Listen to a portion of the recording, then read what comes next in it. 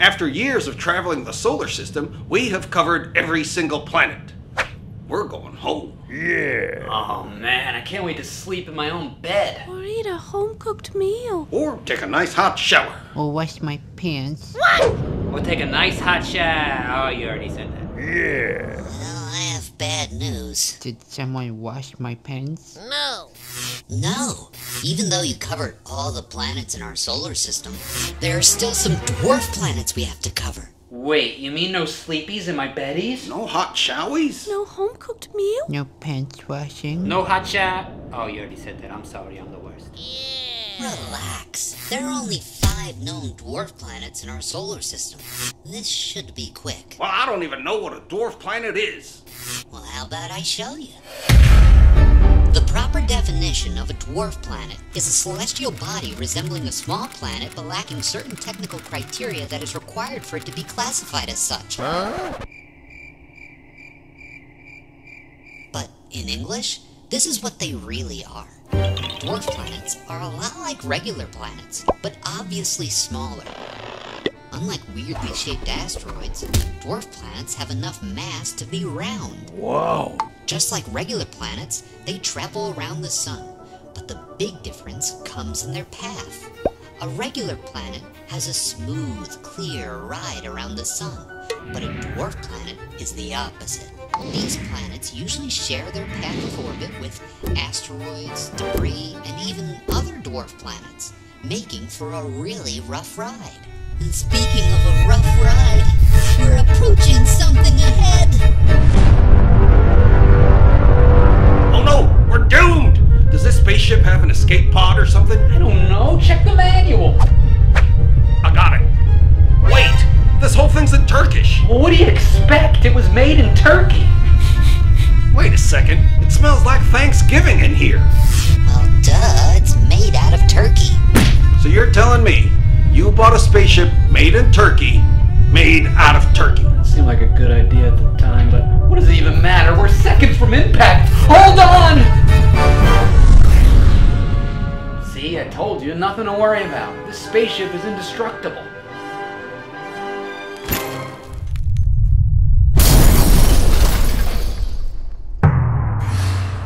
Two days later. Wait a second.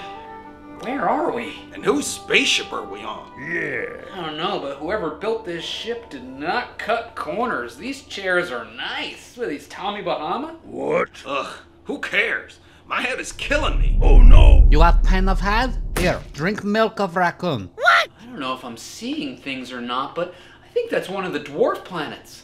It is. That's Ceres. She was the first dwarf planet ever discovered and the largest object in the asteroid belt. What is wrong with toaster? It have earache? Here, put Penny and I and swim in Red Sea. No. No, our toaster is fine. But what happened to my spaceship? Ship was broken. I make you new one from parts in your closet. You like? No. All this stuff was in our closet? Then whose pink Furby is this? What? They were collectible. I don't know what I'm more interested in these dwarf planets are your weird obsession with Furbies. So, Ceres, can you tell us more about you? Yes, my sweet lord. You drink crab juice and I tell me baby story. I is named after the Roman goddess of corn and harvest. What? The word cereal, which comes from harvest, actually comes from the same name. Wow. As your alarm clock spokes, what? I is the largest object in the asteroid belt between Mars and the Jupiter, and the only dwarf planet located in the inner part of solar system.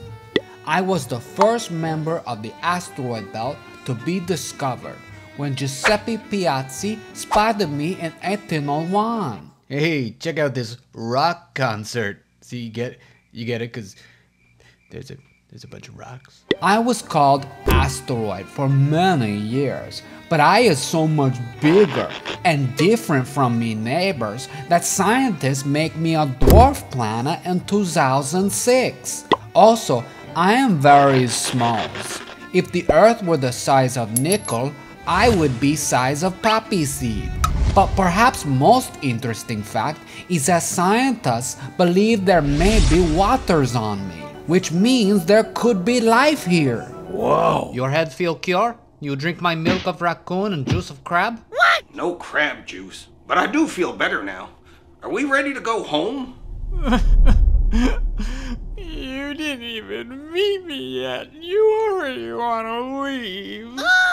Ugh, headache is back. Let me guess. You're Pluto. I wish I wasn't, but I am. Quit being so mopey. Yeah, it's Mopefest 2020. Mopenstein versus the Wolfman. Star Wars Episode 4 A New Mope. You guys are so mean, and I'm too sad to ask you to stop. But why? What's with all the crying and tears and all that? Well, I was originally a planet for over 75 years, but I got switched to being a dwarf planet in 2006. After another dwarf planet, Eris, was discovered, scientists were forced to come up with a definition for a planet. And I didn't fit that definition. So now I'm lonely and have no friends. Well, you have Ceres. She's a dwarf planet too. Seriously? Would you want to hang out with her? She keeps trying to get me to drink crab juice and raccoon milk. Yeah, solid point. Can't argue with that. Yeah. It's weird. When I was a kid, Pluto was counted as a planet, but now it isn't. What's the deal with that? I'll tell you, but I may cry in the middle of it. I was discovered in 1930 by Clyde Tombaugh. Guess what's in this little little black box I got right here? What? Originally, I was named Planet X, which is a lot cooler than Pluto when you think about it. Yeah. But eventually, my name was changed. Pluto is the only world named by an 11 year old girl. Huh? In 1930, Venetia Burney suggested that I should be named for the Roman god of the underworld, and eventually, her suggestion was chosen. I live in the Kuiper Belt, an area full of icy bodies and other dwarf planets way out past Neptune.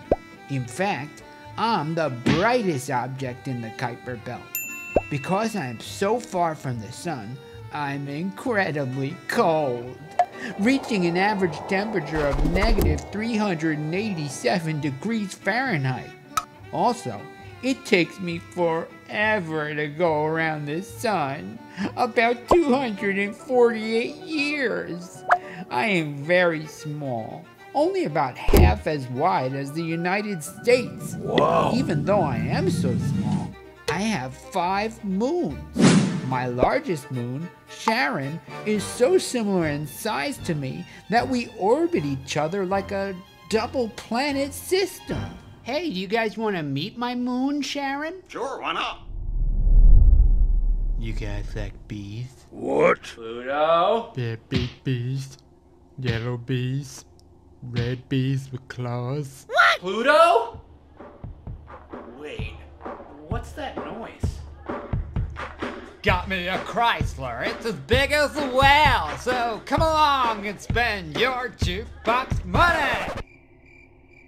The weird bee dude with a derpy face was a lot better. Yeah. Wait a second, you're Haumea. We learned a little bit about you in my egg-shaped planet video. You did? Hmm, I don't remember being interviewed or anything. Yeah, budget was a bit tight. We filmed in a kitchen. What? Not our best work. I'll tell you what is the best though. These chairs. What? Tommy Bahama. They did not cut corners. They did not. No. Enough with the chairs. The faster we talk to this dude, the faster we get home. Hey, home fry! It's Haumea. Whatever. Can you tell us a little bit about yourself? Of course. First off, I've got me a Chrysler. It's as big as a whale. Besides that, Oh. No one ever really asked me before, but hey, how about you just play the part from your egg video and keep this bad boy moving? Okay, let's do it. There's a dwarf planet called Haumea beyond the orbit of Neptune in an area called the Kuiper Belt. This region of the solar system is believed to contain many comets, asteroids, and other small bodies made largely of ice.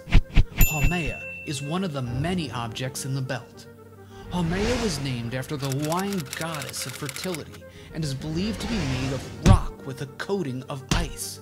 It's thought to have gotten its funky shape from a collision with other objects in the belt. And on top of all that, I have two moons, both named after the Hawaiian goddess Haumea's daughters. I also have rings too. Not bad for an egg-shaped planet. I'll tell you what's not bad. These chairs. What? Tommy Bahama. Comfortable, yet adorable. It's got like six cup holders. Besides all those things, another interesting fact about me is that a day on Haumea is less than four hours. And a year on me is equal to 285 years on Earth. Feels like it's taking us that long to get through this video. So who's next? Oh, Mucky Mucky next. Huh? Mucky Mucky what now? No, my name, Mucky Mucky. Maki him a name. Ooh, got it. Tommy Bahama. What? Great guy. He makes these awesome chairs. No. No, I think Makemake's its actual name. Yes, me Mucky Mucky. Yeah, this guy doesn't seem like the brightest of the bunch. I don't think we're gonna get a lot of useful information out of him. No, Mucky Mucky smart. Go ahead, ask Mucky Mucky a question. I don't know. What's your favorite thing in the universe? That's simple. Tommy Bahama chairs. They're comfortable, durable, portable, and make for a great beach accessory. Don't look at me. I didn't say anything. What? Located in the Kuiper Belt along with Pluto, Haumea, and Eris, Makemake was discovered on March 31, 2005, and was named after the Rapa Nui god of humanity and fertility.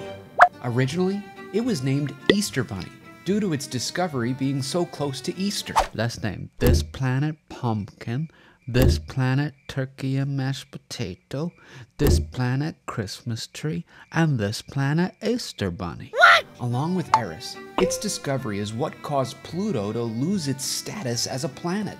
Makemake is only about 880 miles wide. That's less than a third the size of the United States. Even though Makemake is so small, it has one moon that was recently discovered. Nicknamed MK2, its moon is only about 100 miles wide. Well, four dwarf planets down. You know what that means. Yep. Big sale on Tommy Bahama beach chairs. The season may be over for some, but not for us, my friend. Not for us. When did I become the smart one in this group? Hey, it has a cup holder too. Oh man, I'm gonna hold so many cups. If anyone can hear me, anyone, please get me away from him.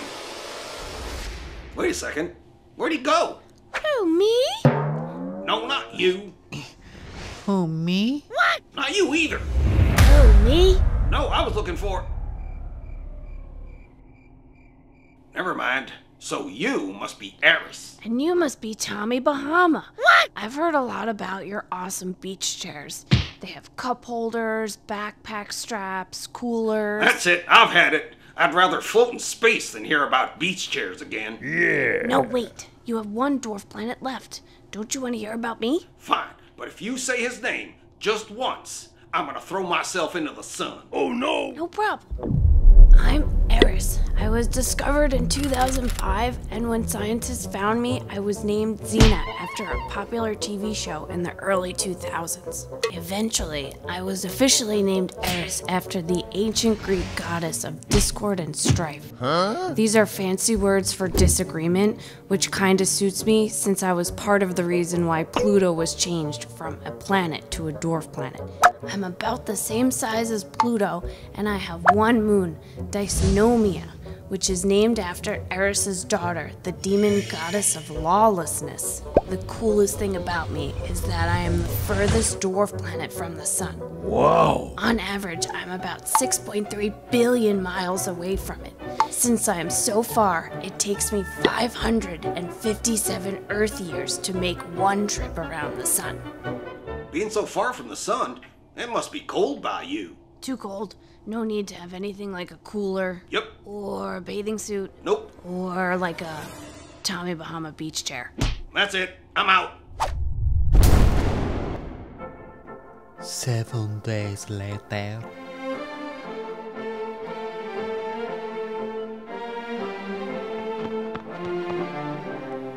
Andy, are you okay? Ugh.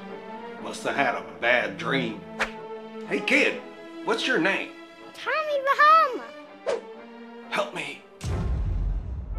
This video could not be made without the help from my patrons on Patreon, especially Mr. Nicholas, Huxley Ophelia Clem Lade Fairy Scientist, Timmy C, Aiden Fenway Riley, Renko Kostya and Panda Page and Casey Bear, Ellie Jack and Bobby Griffin, Amador Baggerly, Creative Devon and Zach T, Leif Anderson Miller, Sean Fideli, Lily, Patrick and Marina, Felix and Casper Watson Smith, Arthur Watson, Asher Jacobson, Aiden Swift, Wesley and Stella M, Ada S, Avery L, Lizzie, Dean and Trevor, Jordana and Aaron, Callum G, Jack and Easton Hess, Cara and Michael, Mrs. Brown's first grade, Kate and Sarah, Blazin, Richard, Dean Bartholomew, Vivi and Jojo Roche, Maxwell M, Solomon and Chandler in Oregon, The Peterson Pack, Gavin and Ian Eshtay, Tobin and Mina, Carter, Levi and Fletcher, Ari aka R Tank, Gavin Meidel, Brenton and Cosette, Mrs. Eslinger's fourth grade class, Isley and Jude Siegel, Aiton Judah, Elijah Robert,